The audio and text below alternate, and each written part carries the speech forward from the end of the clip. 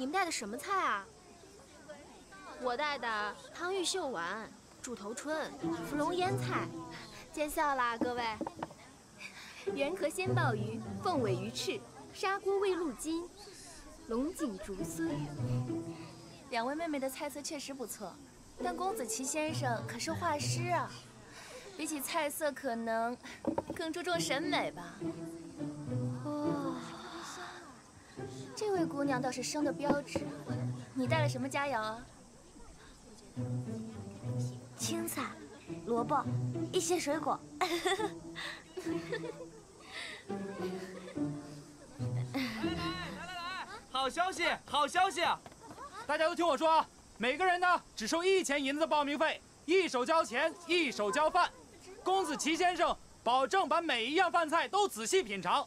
倘若哪家的饭菜合了先生的口味，我们保证有神秘大礼相送。来来来，都排队了啊，排队！哎都别急，都别急，一个一个来，都排队啊，排队！不要急，不要急，都排队，排队，哎，排队，后面排队。老天有眼，这浪费食物是可耻的。既然公子奇与你们无缘，那我就。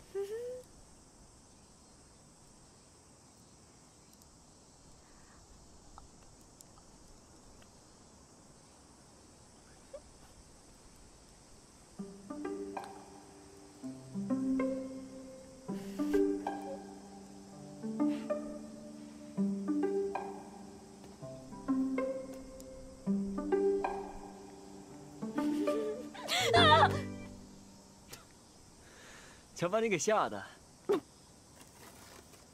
你也是来送饭的吧？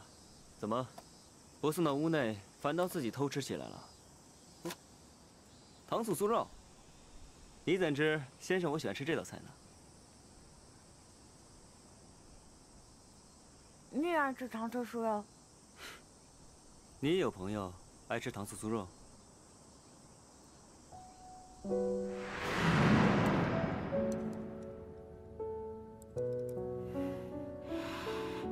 嗯，好吃，好吃。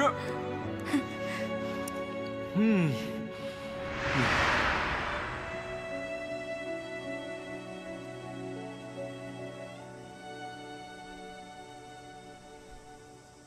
这才是先生我要的菜。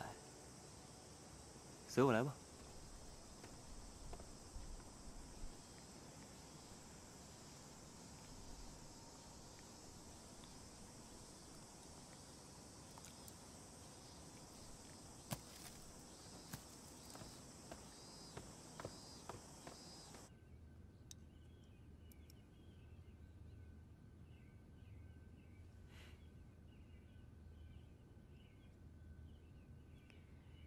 好吃吗？好吃，有我心爱女人的味道。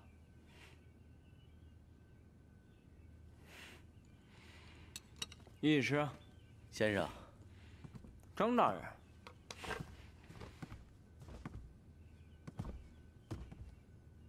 真是稀奇呀！我这门庭冷落的太尉府，头一次来了这么多姑娘。待在门口，全部是给您送饭的。在下实在抱歉，多有叨扰。哎，给我道什么歉呢？只是，原来先生已经有了吹金转玉的美娇娘，若是被门外那些姑娘看到了，可是要伤心的。大人，您误会了。他呀。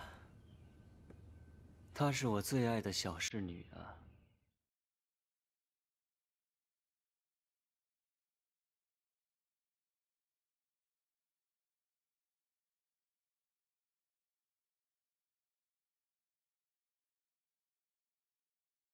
她跟随我多年，知道我的喜好口味，怕是远胜门口那些姑娘了。你是我最爱的小侍女。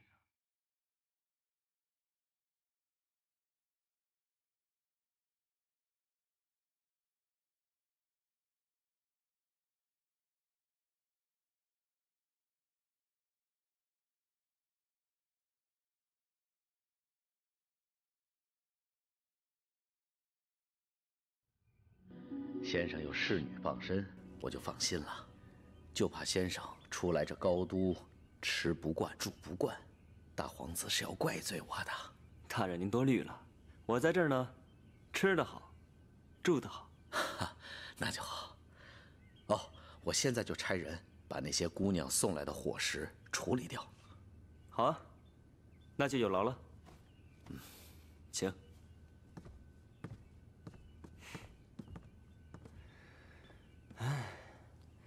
说了这么久的话，怕这饭菜都凉了吧？去哪儿啊？这菜还没吃完呢。傅九月。嗯。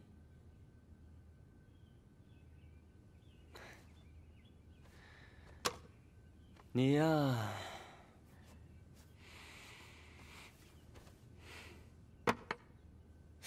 小川啊，你可真没良心啊！先是放老虎咬我，然后又用神仙醉蒙我，又把我一个人丢在那冰冷的客栈里。你倒好，一个人跑到这繁华的高都来，你想干什么呀？在离国戏弄我的那个公子期，也是你傅九云了。嗯，是我。大人，我心胸狭窄的很，改了我的曲子，还能安稳度日的，也就你。公主殿下，所以你一直都知道我在高都。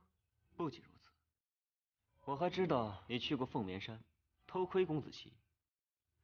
来，让我猜猜啊，异色铜片准备好了，假发也买好了，胡旋舞步不好学，不如用离步来代替好了。我跟你讲过，让你不要干涉我的事情。嗯，你放心，我来此地。不是为了你，更不是为了灵灯。在这高都城里，我继续做我的公子期，你呢，继续做你的小厨娘。咱们呀，互不干预。嘴上说着互不干预，那你为何来高都？大人一定是想告诉我，果真是来看美人的。自然是来看你的，看你仅凭蝼蚁之力。能在这高都城里捅出什么样的篓子？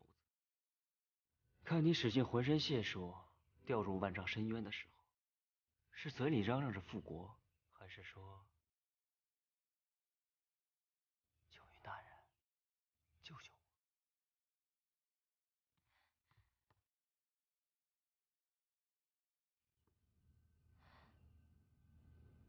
那就可得让您失望了。就算是我跌入万丈深渊，我也能够生火搭灶，过得好的很。今日的话，傅九云，你记住了。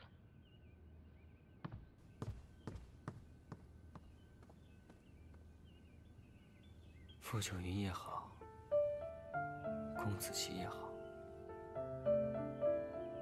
不过是个名字罢了。